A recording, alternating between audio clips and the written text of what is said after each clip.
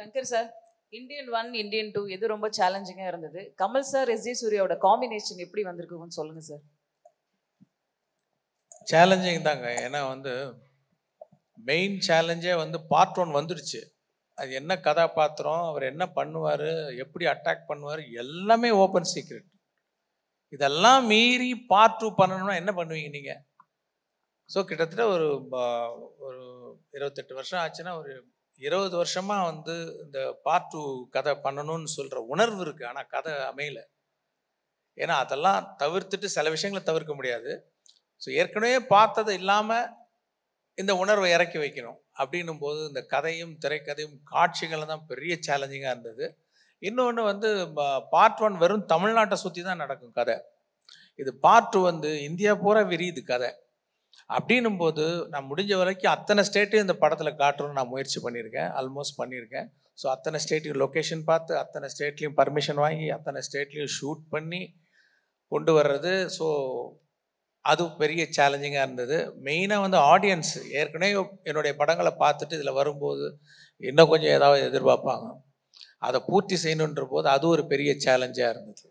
Shankar sir ஒரு question sir அதான் வந்து நீங்கள் சாங் ரிலீஸ் ஆனதுக்கு அப்புறமே சோஷியல் மீடியாவில் ட்ரெண்டிங்கில் இருந்தது. நீங்கள் வந்து இந்த சாங்கை ஏஆர் ரஹ்மான் சார்கிட்ட கேட்டிங்களா? இந்தியன் டூக்கு வந்து அப்ரோச் பண்ணீங்களா? ஏன்னா அவர் பண்ணியிருந்தா இன்னும் கொஞ்சம் பயங்கரமாக இருந்திருக்குங்கிறது வந்து ரொம்ப பெரிய டாப்பிக்காக போச்சு. எதனால அனிருத் சாரை சூஸ் பண்ணீங்க?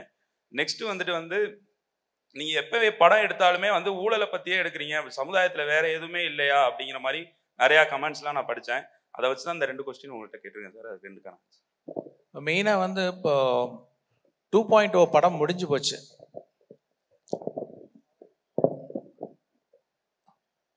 டூ பாயிண்ட் ஓ படம் முடிஞ்சு போச்சு.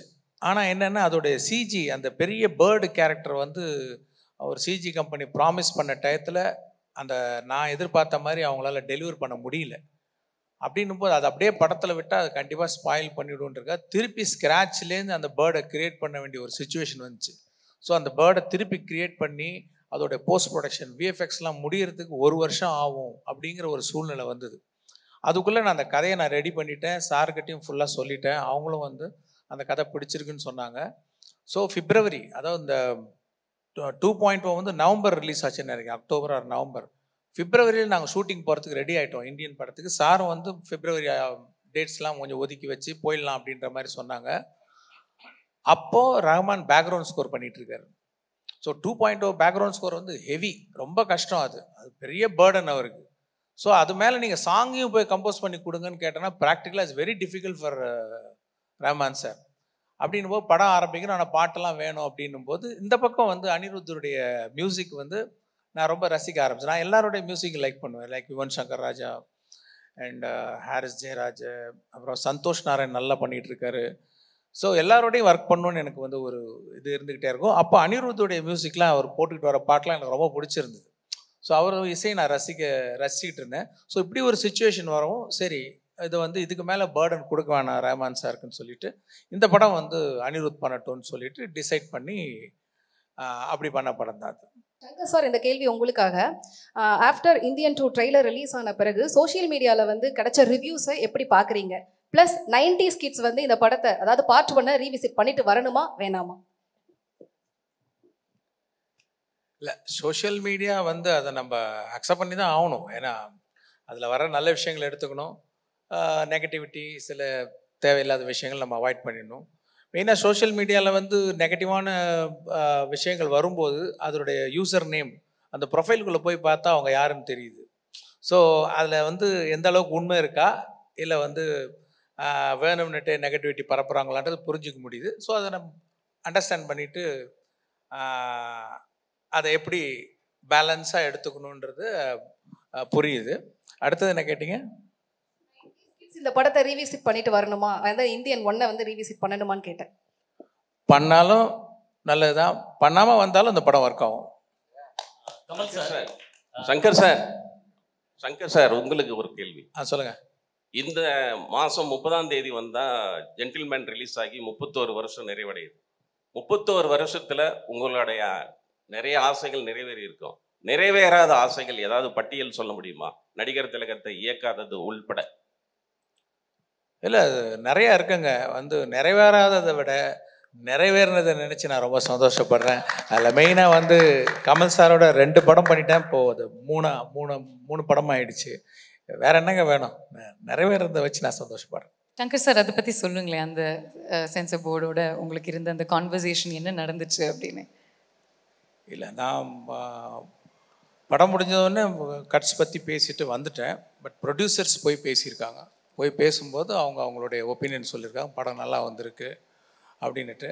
ஒரு கட்ஸுக்கு கூட சரி யூஏ கொடுக்குறீங்களே இது சில விஷயங்கள் வந்து அதை ரிமூவ் பண்ணால் பவர் போயிடுமே இந்த யூஏ இருக்கே அதனால் நீங்கள் அலோவ் பண்ணலாமே அப்படின்னு கேட்டேன்.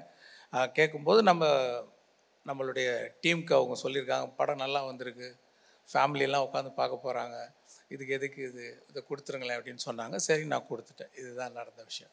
சங்கர் சார் ஒரு இன்டர்வியூவில் கமல் சார் சொல்லியிருக்காரு சேனாபதி தாத்தாக்கு என்ன வயசு அப்படின்னா சேனாபதி தாத்தாக்கு சூப்பர் மேனுடைய வயசு.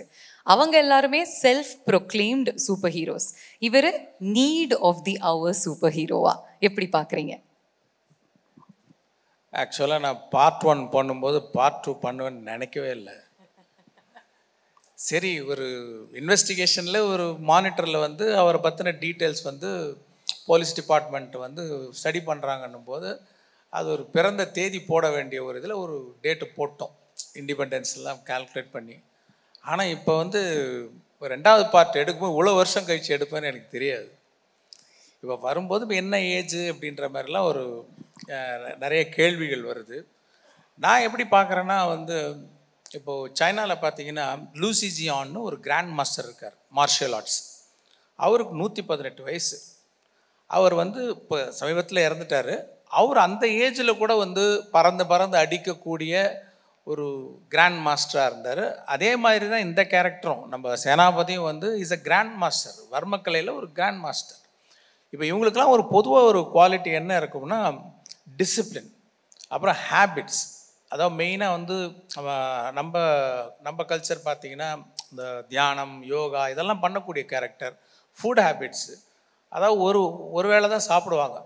இந்த மாதிரி கட்டுப்பாடோடு இருக்கக்கூடிய ஒரு மார்ஷியல் ஆர்ட்ஸ் கிராண்ட் மாஸ்டருக்கு வந்து வயசு ஒரு பொருட்டே கிடையாது. அவங்க அந்த ஏஜில் இருந்தால் கூட அவங்க ஆக்டிவாக இருப்பாங்க. இப்போ பார்த்தீங்கன்னா இப்போ வந்து சூப்பர்மேனுக்கு ஏஜ் கிடையாது. இப்போ அதே பார்த்தீங்கன்னா இப்போ அயன் ஃபிளமிங்கோடைய புக்கில் இப்போ வர அந்த பாண்டு கேரக்டர் இப்போ கால்குலேட் பண்ணி பார்த்தீங்கன்னா நூற்றி ரெண்டு வயசு. நம்ம அப்படியே பார்க்குறோம் பாண்டு அவரை நம்ம ரசிக்கணும். அந்த மாதிரி தான் நான் பார்க்கணுன்னு நான் விரும்புகிறேன் ஏன்னா வந்து சேனாபதி கேரக்டர் வந்து நம்ம ஒவ்வொருத்தர் மனசுக்குள்ளேயும் இருக்கிற ஒரு கோபம் ஆதங்கத்தினுடைய வெளிப்பாடு தான். அவங்க எல்லாருடைய மனசுலையும் இருக்கக்கூடிய கோபம் ஆதங்கத்தோட வெளிப்பாடு தான் அந்த சேனாபதி கேரக்டர் ஸோ அந்த கேரக்டர் எப்போவுமே ஒரு பவர்ஃபுல்லாக இருக்கிறது தான் எல்லோரும் விரும்புவாங்க. நானும் அதான் விரும்புகிறேன் கொஞ்சம் நான் எல்லா பக்கமும் யோசிப்பேன். சரி இந்த ஏஜுக்காக என்ன பண்ணலாம் அப்படின்ட்டு கொஞ்சம் டிசைன்லாம் பண்ணி பார்த்தேன். கொஞ்சம் வழுக்க வச்சு முடியெல்லாம் கொட்டி போய் இன்னும் கொஞ்சம் சுருக்கெல்லாம் வச்சு பார்க்க என்னாலே பார்க்க முடியல. எப்படி எதுக்கு இப்படி பார்க்கணும்? அது ஒரு சூப்பர்மேன் கேரக்டர் மாதிரி தானே. அப்படின்னு சொல்லிட்டு தான் இந்த இந்த இந்த லுக்கில் இந்த படத்தில் காமிக்கிறோம்.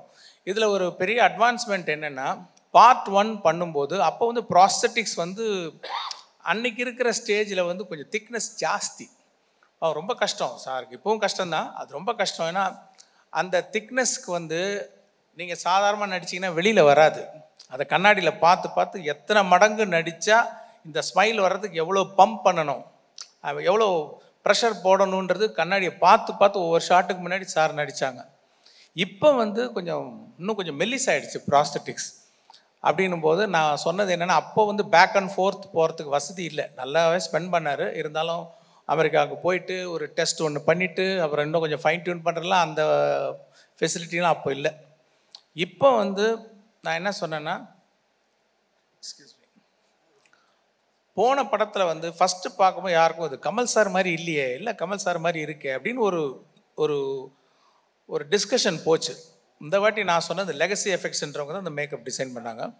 அவங்கக்கிட்ட நான் சொன்னது இந்த வாட்டி I want to see our actor more ஏன்னா ப்ராஸ்தட்டிக்ஸில் வந்து நம்ம ஆக்டருடைய முகம் வந்து அந்த திக்னஸில் போயிடக்கூடாது. அந்த ஆடியன்ஸுக்கு வந்து அந்த ஆக்டரை பார்க்கணும் அப்படின்னும் போது அவங்க கரெக்டாக வந்து இந்த வாட்டி பார்ட் ஒன்னோட பார்ட் டூவில் நீங்கள் வந்து கமல் சாரோடைய முகத்தையும் அந்த கேரக்டரில் இன்னும் நல்லா பார்க்கலாம். அதுதான் வந்து அதோடைய ஸ்பெஷாலிட்டி ஓகே சேனாபதி தாத்தானுடைய கம்பேக்கே ஒரு காஸ் ஃபார் செலிப்ரேஷன் அதை தாண்டி இந்தியன் டூவில் மற்ற விஷயங்கள் டு செலிப்ரேட் என்னென்ன இருக்கு? கதை கேட்குறாங்க சார் பார்த்துக்குங்க. இல்லை இப்போ இதில் வந்து மெயினாக நிறைய கேரக்டர்ஸ் கேமியோஸ் ஜாஸ்தி. அது எல்லாமே நல்ல ஒரு பண்பட்ட நடிகர்கள் நல்ல அனுபவம் வாய்ந்த நடிகர்கள் சிறந்த நடிகர்களை வந்து இந்த படத்தில் கேஸ்ட் பண்ணியிருக்கோம். Like Samuthirakani sir S J Surya Bobby Simha Thambiramaiah Manobala Vivek அப்புறம் ரேணுகா சொல்லிட்டேன். சித்தார்த் மெயினா ரகுல் பிரீத் சிங் பிரியா பவானி சங்கர் நிறைய கேமியோஸ் எல்லாருமே ரொம்ப சிறப்பாக நடிச்சிருக்காங்க. ஏன்னா அதில் நிறைய ஃபேமிலி விஷயங்கள்லாம் அந்த படத்தில் வருது. ஸோ எல்லா ஃபேமிலியும் வந்து எங்கேஜாக பார்க்கக்கூடிய படமாக இது இருக்குன்னு நான் நம்புகிறேன் அடுத்து பார்த்திங்கன்னா இதில் வந்து அதை பார்த்தீங்கன்னா அந்த ஒரு நடுவில் ஒருத்தர் இருக்கார். அவர் வந்து உங்களுக்கு நிறைய பேருக்கு மீடியாவுக்கு பரிச்சயமான ஒரு கேரக்டர் தான். அது ஆர்கே லக்ஷ்மணுடைய கார்ட்டூன் காமன் மேன் அவர் வந்து டைம்ஸ் ஆஃப் இந்தியாவில் அந்த கார்ட்டூன் வந்து ரெகுலராக போடுவார் அது ரொம்ப அந்த கார்ட்டூன்லாம் ரொம்ப பிரபலம் ரொம்ப மிகச்சிறந்த ஒரு கார்ட்டூனிஸ்ட் ஆர்கே லக்ஷ்மண் அவர்கள். அவருடைய அந்த காமன் மேன் கதாபாத்திரத்தை வந்து ஒரு த்ரீ டி ஆனிமேஷனில் இதில் வந்து இந்த கதையில் வந்து ஒரு கதை சொல்லும் ஒரு டூலாக நான் வந்து பயன்படுத்தியிருக்கேன். அது ஒரு புது விஷயம். அப்புறம் சொன்ன மாதிரி பொலிவியாவில் எடுத்த அந்த கேலண்டர் சாங் மிஸ் யூனிவர்ஸ் நான் வந்து இந்தியன் ஆக்ட்ரஸே ட்ரை பண்ணேன். ரெண்டு மூணு பேரை ட்ரை பண்ணேன். கிடைக்கல அவங்க டேட்ஸ் கிடைக்கல. அப்போ வந்து அந்த கேலண்டர் ஷூட்டுக்கு பொருத்தமாக யார் இருப்பாங்க அப்படின்னு பார்க்கும்போது அவங்களுடைய ஒரு புகைப்படத்தை பார்க்கக்கூடிய ஒரு வாய்ப்பு வந்தது. ஸோ அவங்கள ட்ரை பண்ணி பார்த்தோம். அவங்க வந்து அவங்க அக்செப்ட் பண்ணதுனால அவங்கள வந்து இந்த பாட்டில் நாங்கள் படத்தில் வருவாங்க அந்த பாட்டில்.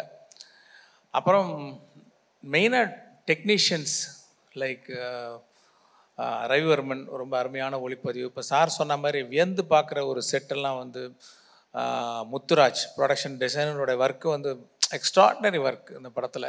பார்த்தா அப்படி நம் நம்ம நம்மளே ஒரு லேஸில் எக்ஸைட் ஆக மாட்டோம். ஒரு செட்டு டிசைன் அப்ரூவ் பண்ணுறதுக்கு பேக் அண்ட் ஃபோர்த் போவோம். கடைசியில் ஒன்று கொடுப்பாரு. செட்டில் வந்து பார்த்தா நம்மளுடைய எதிர்பார்ப்பையும் மிஞ்சக்கூடிய ஒரு அருமையான ஒரு அவுட்புட்டை வந்து முத்ராஜ் முத்துராஜ் சார் கொடுத்துருக்குறாங்க அப்புறம் தைவானில் ஷூட் பண்ணியிருக்கோம். இதெல்லாம் விட மெயினாக நம்ம கமல் சார் தான். நான் வந்து பார்ட் ஒனில் சொன்னேன். லைக் ஒரு தராஸில் வந்து ஒரு பக்கம் டைரக்டர் ப்ரொடியூசர் படத்தில் நடித்த actors cinematographer music director art director அத்தனை பேரையும் ஒரு தராசில் போட்டுட்டு இன்னொரு பக்கம் தராசில் கமல் சாரை உட்கார வச்சா ஈக்குவல் ஆகிடும் அந்த அளவுக்கு இவருடைய இவர் சாருடைய ஸ்க்ரீன் ப்ரெசன்ஸ் அண்ட் பர்ஃபார்மன்ஸ் வந்து அப்படி இருந்தது. அந்த இந்தியன் ஒரு விழாவில் நான் சொன்னேன். இப்போ நான் சொல்கிறேன் இப்போ தராசு இந்த பக்கம் சாஞ்சிடுச்சு. சார் வந்து எங்கள் எல்லாரையும் மிஞ்சிற அளவுக்கு அவர் வெயிட்டாக இருக்கார் அந்த படத்தில். அப்படிங்கிறத நான் வந்து இங்கே நீங்கள் கேட்டிங்களே படத்தில் வேறு என்ன நான் இல்லைன்ட்டு. சாரோடைய பர்ஃபார்மன்ஸ் சாருடைய ப்ரெசன்ஸ் ஏன்னா அவர் வர சீனெல்லாம் வந்து அப்படி ஒரு ஒரு பிரமிப்பை ஏற்படுத்துது. அது ஒரு எழுதினதுக்கும் அது ஒரு சீனாக ட்ரான்ஸ்ஃபார்ம் ஆகும்போது அது எந்த அளவுக்கு உயர்ந்து நிற்குதுன்றதை என்னால் பார்க்க முடிஞ்சுது. ஐ பிலீவ் நீங்களும் அதை ஃபீல் பண்ணுவீங்கன்னு நினைக்கிறேன்.